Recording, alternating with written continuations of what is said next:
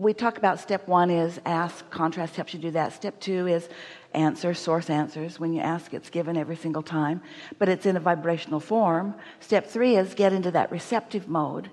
And step four is get really good at that which is what you're really talking about here just becoming so practiced at it that it's easy to be there.